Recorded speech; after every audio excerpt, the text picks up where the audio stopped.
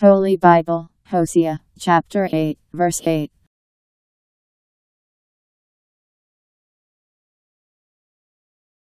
Israel has come to destruction, now they are among the nations like a cup in which there is no pleasure.